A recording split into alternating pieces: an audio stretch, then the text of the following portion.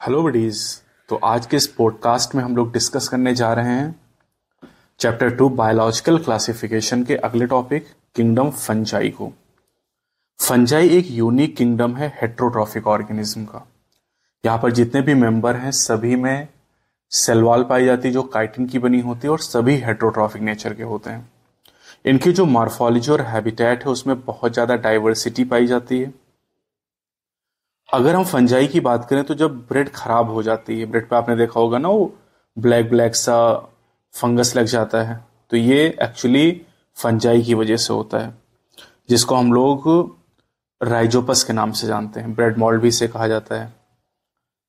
जो मशरूम हम लोग खाते हैं, ये भी फंजाई ही है, इसे अगैरिकस के नाम से जाना जाता है। साथ ही साथ जो टूड स्टूल होते हैं, ये भी फंजाई होते हैं। सरसों की पत्तियों के ऊपर जो व्हाइट स्पॉट दिखाई देते हैं, वो पैरासिटिक फंगस की वजह से होते हैं। एग्ज़ाम में पूछा जाएगा white spot seen on mustard leaves are due to आपका आंसर होगा पैरासिटिक फंगस कुछ फंजाई यूनिसेलर भी होते हैं, जैसे कि ईस्ट और इसका यूज़ ब्रेड और बियर को बनाने के लिए किया जाता है। ईस्ट का जो साइंटिफिक नेम है, ये सैक्रोमाइसिस सेरेवाइसी है, जो कि ब्रेड बनाने में इसका यूज़ करते हैं, इसलिए इसे बेकर्स ईस्ट कहते हैं, और बियर बनाने में इसका यूज़ करते हैं, इसलिए इसे ब्रीवर्स ईस्ट के नाम से भी जाना जाता है। कुछ फंजाई ऐसे होते हैं जो प्लांट और एनिमल में डिज़ीज़ भी कॉज करते हैं, जैसे वीट में रस्ट नाम की बीमारी होती है जो पक्सीनिया कॉज करता है। कुछ फ़ायदेमंद भी होते हैं फंजाई, जैसे पेनिसिलियम एंटीबायोटिक का सोर्स होता है, इससे पेनिसिलिन नाम की एंटीबायोटिक ऑप्टेन की जाती है। फंजाई लगभग हर जगह पे पाए जाते हैं, एयर, वाटर सॉयल एनिमल के ऊपर, प्लांट के ऊपर, यानी कॉस्मोपॉलिटन नेचर के होते हैं। कॉस्मोपॉलिटन मतलब लगभग हर जगह पाया जाना।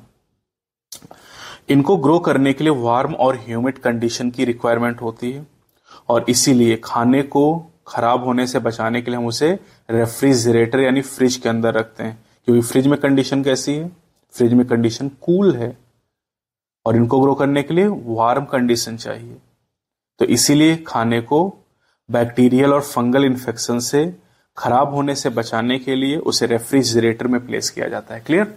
अब अगर ईस्ट का एक्सेप्शन छोड़ दिया जाए ईस्ट यूनिसेलर फंगस है इसके अलावा जितने ही फंजाई होते हैं वो मल्टी सेलर होते हैं फिलामेंटस होते हैं। ईस्ट के अलावा बाकी सबकी जो फन, सारे फंजाई जो होते हैं उनकी बॉडी पतले थ्रेड लाइक स्ट्रक्चर से बनी होती जिन्हें हाइफी कहते हैं। और हाइफी का जो नेटवर्क होता है उसे माइसीलियम के नाम से जानते हैं। कुछ हाइफी ऐसे होते हैं जिनमें मल्टी न्यूक्लिएटेड साइटोप्लाज्म पाया जाता है, इन्हें सिनोसिटिक हाइफी कहते हैं। सिनोसिटिक हाइफी आपको मिलेगा फाइकोमाइसिट क्लास के अंदर। बाकी जो फंजाई होते हैं, उनमें सेप्टेट हाइफी पाए जाते हैं, यानी उसमें सेल्स के बीच में क्रॉस वॉल या सेप्टा प्रेजेंट होते हैं। सेलवाल फंजाई की काइटिन और पॉलीसैक्राइड्स के द्वारा बनी होती है। सभी फंजाई हेट्रोट्रॉफिक नेचर के होते हैं। और ये या तो सेप्रोफिटिक होंगे, या पैरासिटिक होंगे, या सिम्बायोटिक होंगे। अगर ये सॉलेबल ऑर्गेनिक मैटर को एब्जॉर्ब करते हैं डेड सबस्टेट से तो इन्हें सेप्रोफाइट कहेंगे। अगर ये लिविंग प्लांट और एनिमल से फ़ूड ऑप्टेन करते हैं तो इन्हें पैरासाइट कहेंगे। और ये सिम्बायोटिक भी हो सकते हैं, जैसे ग्लोमस नाम का एक फंगस है, जो कि माइकोराइजल एसोसिएशन बनाता है। तो माइकोराइजा जो होता है, ये एक्चुअली एक सिम्बायोटिक एसोसिएशन है फंजाई का हायर प्लांट की रूट के साथ में, जैसे पाइनस के साथ में, यूकलिप्टिस के साथ में फंगस एसोसिएशन करता है। इसी तरह से फंजाई का एल्गी के साथ जो एसोसिएशन होता है, उसे लाइकेंस के नाम से जाना जाता है। तो लाइकेंस और माइक्रोराइजा के केसेस में जो फंजाई होते हैं सिम्बायोटिक एसोसिएशन करके फ़ूड को ऑप्टेन करते हैं। रिप्रोडक्शन बहुत इंपॉर्टेंट फंजाई में। रिप्रोडक्शन तीन तरीके से होता है वेजिटेटिव एसेक्सुअल एंड सेक्सुअल अब तीनों के तीन तीन तरीके हैं। वेजिटेटिव रिप्रोडक्शन फ्रेगमेंटेशन फिजन या बडिंग से होता है। एसेक्सुअल रिप्रोडक्शन कोनिडिया के द्वारा स्पोरेंजो स्पोर के द्वारा या जो स्पोर के द्वारा होता है। और जो सेक्सुअल रिप्रोडक्शन होता है, उसके लिए कोड है A B O A B O blood grouping आप पढ़ते हैं? तो A B O A for ascospore B for basidiospore and O for oospore बोलो, ज्ञान बाबा की जय। तो एबीओ से आप सेक्सुअल स्पोर को आसानी से याद रख सकते हैं। अभी जो स्पोर होते हैं, ये स्पेशल टाइप की बॉडी के अंदर बनते हैं, जिन्हें फ्रूटिंग बॉडी कहा जाता है। सेक्सुअल साइकिल में तीन स्टेप होते हैं। पहला स्टेप होता है प्लाज्मोगेमी दूसरा होता है कैरियोगेमी और तीसरा होता है मियोसिस इन जाइगोट प्लाज्मोगेमी में दो मोटाइल या दो नॉन मोटाइल गैमिट फ्यूज करते हैं, उनका प्रोटोप्लाज्म आपस में फ्यूजन करता है। कैरियोगेमी में दो न्यूक्लियाई आपस में फ्यूज करते हैं और जाइगोट में मियोसिस होने से हैप्लॉयड स्पोर का फॉर्मेशन होता है। एस्कोमाइसिट और बैसिडियोमाइसिट फंगस में डाइकैरियोफेस पाई जाती है, जिस, जहाँ पर डाई कैरियोटिक स्टेज आती है एन प्लस एन यानी एक एक सेल के अंदर दो न्यूक्लियाई होते हैं। इस कंडीशन को डाई कैरियोन कहा जाता है और फेस को डाई कैरियोफेस कहा जाता है। अब माइसिलियम की मार्फोलॉजी के आधार पे मोड ऑफ़ स्पोर फॉर्मेशन के आधार पे टाइप ऑफ़ फ्रूटिंग बॉडी के आधार पे इस किंगडम को चार क्लास में डिवाइड किया गया है। क्लास वन है फंजाई का phycomycetes class two is the ascomycetes class three is the basidiomycete and class four is the deuteromycetes phycomycetes की अगर बात करें तो इसके जो मेंबर होते हैं एक्वेटिक हैबिटेट्स में हो सकते हैं। डिकेइंग वुड यानी सड़ी गई लकड़ियों के ऊपर पाए जाते हैं। मॉइस्ट एंड डैम प्लेसेस पे जो ठंडी, नम, छायादार जगह होती हैं, गीली जगह होती हैं। या फिर ऑब्लिगेट पैरासाइट के रूप में प्लांट के ऊपर होते हैं। इनका माइसिलियम एसेप्टेट एंड सीनोसिटिक होता, बाकी तीनों ही क्लास में सेप्टेट माइसिलियम होता है। यहाँ पर एसेप्टेट है, ध्यान रखिएगा। केवल फाइकोमाइसिट में।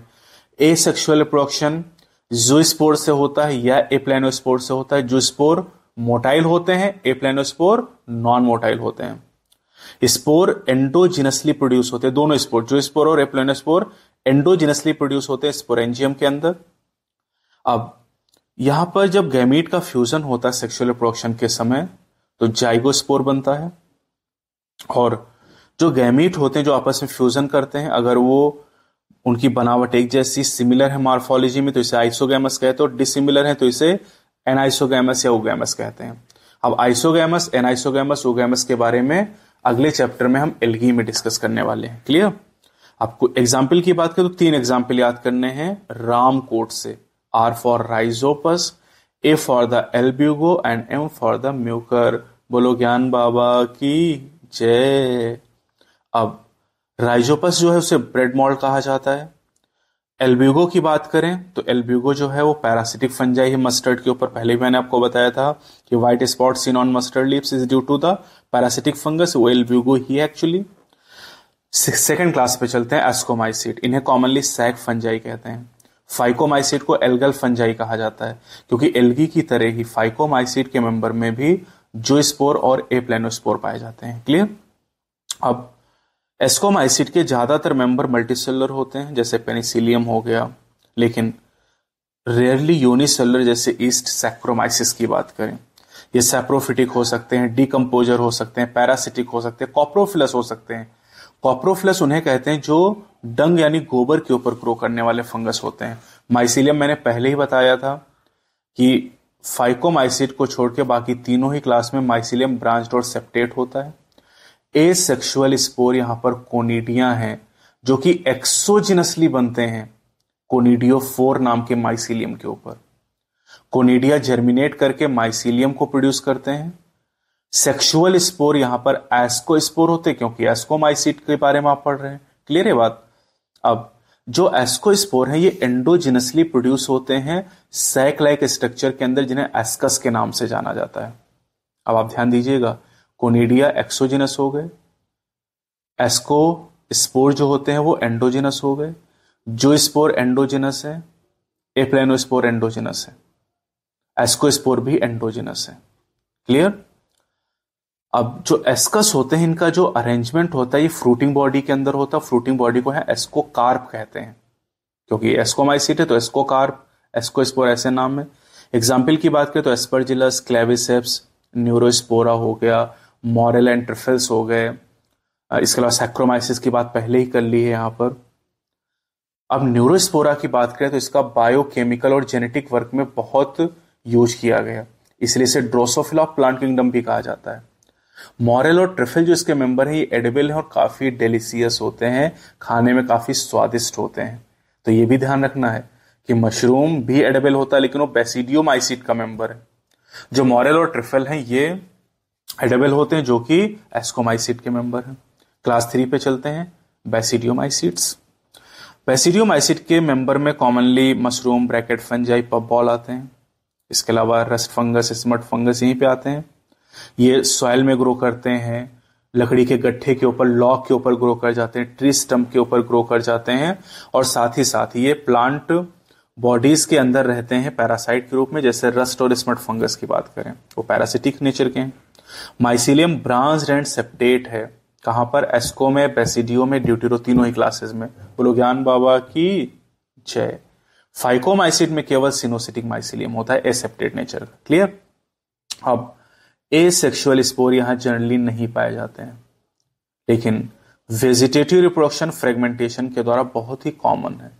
यहाँ पर सेक्स ऑर्गन एबसेंट होते हैं, लेकिन दो वेजिटेटिव सेल के फ्यूजन से, ठीक है? दो वेजिटेटिव सेल के फ्यूजन से यहाँ पर प्लाज्मोगेमी होती है, और जो वेजिटेटिव सेल होती हैं, ये डिफरेंट स्टेनिया जीनोटाइप से बिलोंग करती हैं। अब जब दो सेल आपस में फ्यूज करती वेजिटेटिव सेल की बात कर रहे हैं तो इससे डाई कैरियोफेज का फॉर्मेशन होता है और डाई कैरियोफेज बनने के बाद अल्टीमेटली बेसिडियम बनता है। बेसिडियम के अंदर कैरियोगेमी और म्योसिस होती है। प्लाज्मोगेमी तो पहली हो चुकी थी। कैरियोगेमी और म्योसिस होती जिससे चार बेसिडियोस्पोर बनते हैं। चार, ध्यान रखना। चाचा, चार बेसिडियोस्पोर बनेंगे। अब बेसिडियोस्पोर जो होते हैं वो एक्सोजिनसली प्रोड्यूस्ड होते हैं। अब आपके स्पोर हो गए पाँच। जो spore aplanospore conidia ascospore basidiospore अब जो जो स्पोर है एंडोजिनस है एप्लेनोस्पोर एंडोजिनस है कोनिडिया एक्सोजिनस है एस्कोस्पोर एंडोजिनस है बेसिडियो स्पोर एक्सोजिनस है। तो पाँच में कंफ्यूजन है तो बहुत सीधी सी बात याद कर लो कि भैया जो कोनिडिया है और जो बेसिडियो स्पोर है, ये एक्सोजिनस नेचर के हैं। ठीक है? केवल कोनिडिया और बेसिडियो स्पोर आप याद कर लो बी सी है ना बी सी जो बी सी हैं, ये दोनों एक्सोजिनस नेचर के हैं, बाकी जो बचे एप्लेनोस्पोर जोस्पोर एस्कोस्पोर ये एंडोजिनस नेचर के हो जाएँगे। बोलो, ज्ञान बाबा की जय। आगे बढ़े? ठीक है, आगे बढ़ते हैं। अब जो बेसिडियो स्पोर है, मैंने कहा ना कि एक्सोजिनसली प्रोड्यूस होते हैं बेसिडियम के ऊपर। और बेसिडियम जो होते हैं, ये फ्रूटिंग बॉडी के अंदर अरेंज होते हैं, जिन्हें बेसिडियो कार्प कहते हैं। आसान सी बात है। बेसिडियो माइसिड में बेसिडियो कार्प फ्रूटिंग बॉडी है। उसके ऊपर बेसिडियो स्पोर का फॉर्मेशन हो रहा है। ठीक है? उधर एस्कोमाइसिड में एस्को कार्प नाम की फ्रूटिंग बॉडी है, और वहाँ पर एस्को स्पोर बनते हैं तो आसान सी बात हो गई है। एग्ज़ाम्पल की बात करें तो एग्ज़ाम्पल अगेरिकस है यहाँ पर, जिसे कॉमनली मशरूम कहते हैं। अस्टिलेगो की बात करें तो अस्टिलेगो जो है इसे कॉमनली हम लोग जानते हैं किस नाम से? स्मट के नाम से जानते हैं। इसी तरह से पक्षीनिया की बात करें तो पक्षिनिया को कॉमनली रेस्ट फंगस के नाम से जाना जाता है ना? इसे कॉमनली रेस्ट फंगस के नाम से हम लोग जानते हैं। ठीक, अब आते हैं class number four that is deuteromycetes इसे इम्परफेक्ट फंजाई कहा जाता है। ठीक है, क्योंकि यहाँ पर केवल ए सेक्सुअल या वेजिटेटिव फ़ेज़ ही फंजाई में पाई जाती है। इनमें सेक्सुअल रिप्रोडक्शन नहीं पाया जाता है। और अगर मान लीजिए ड्यूटेरोमाइसिट का कोई मेंबर ऑफ़ फ्यूचर में उसमें कभी सेक्सुअल रिप्रोडक्शन का पता चल जाए तो उसे ड्यूटेरोमाइसिट से बाहर कर दिया जाएगा और उसे सही क्लास में भेज दिया जाएगा ठीक है मतलब या तो उसे एस्कोमाइसिट में भेज देंगे या बेसिडियोमाइसिट में भेज देंगे ठीक है अब ड्यूटेरोमाइसिट के जो मेंबर होते हैं ये केवल एसेक्सुअल स्पोर के द्वारा प्रोड्यूस करते हैं जिन्हें कोनिडिया कहा जाता है अब ध्यान रखना कोनिडिया दो जगह मिले हैं एस्कोमाइसिट में और ड्यूटेरोमाइसिट में कोनिडिया मिले हैं। क्लियर माइसिलियम सेप्टेट ब्रांच पहले हम कई बार बात कर चुके हैं। यहाँ जो मेंबर होते हैं, वो सेप्रोफाइट होते हैं या पैरासाइट होते हैं, और काफ़ी ज़्यादा नंबर में मेंबर यहाँ डिकम्पोजर होते हैं लिटर के। लिटर का मतलब होता है फ्रेशली फॉलन लीव्स नई ताजी ताजी पत्तियाँ गिरी पेड़ की ज़मीन पे, उन्हें कोलेटर कहते हैं। और ये मिनरल साइकिलिंग में हेल्प करते हैं। बहुत इंपॉर्टेंट नीट में पूछा गया सवाल है ये। एग्ज़ाम्पल कैट से आप याद करना ड्यूटेरोमाइसिट के। Cat C for colletotrichum A for alternaria and T for the trichoderma इसी ट्राइकोडर्मा से साइक्लोस्पोरिन ए निकाली जाती है, जो कि इम्यूनोसप्रेसिव एजेंट की तरह काम करती है। तो कैट से आप इसको याद कर सकते हैं ड्यूट्रोमाइसिट के एग्ज़ाम्पल को। राम से आप याद कर सकते हैं फाइकोमाइसिट के एग्ज़ाम्पल को। क्योंकि इन दोनों क्लास में तीन तीन एग्ज़ाम्पल हैं। बोलो ज्ञान बाबा की जय।